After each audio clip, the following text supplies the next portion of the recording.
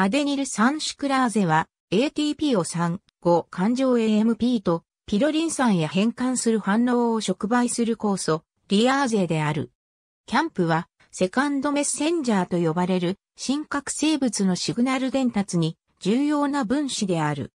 膜受容体に結合してホルモンや他の刺激に反応する G タンパク質を活性化または抑制することができる。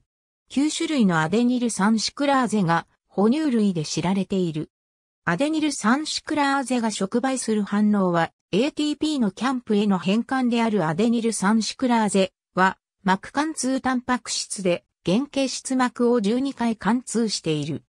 これの機能の重要部分は細胞質側の N 及び C 末端、それと、マック貫通ヘリックスの6と7の間の細胞質内に広がる C1 ドメインにある。アデニル酸シクラーゼはチータンパク質やフォルスコリン、そして同様に他の種類に特異的な気質に刺激される。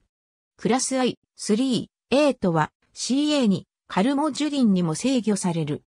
神経では CA2 の流入への素早い反応のためアデニル酸、シクラーゼはカルシウムイオンチャネルの隣に位置しており、学習過程に重要な役割を果たしていると思われている。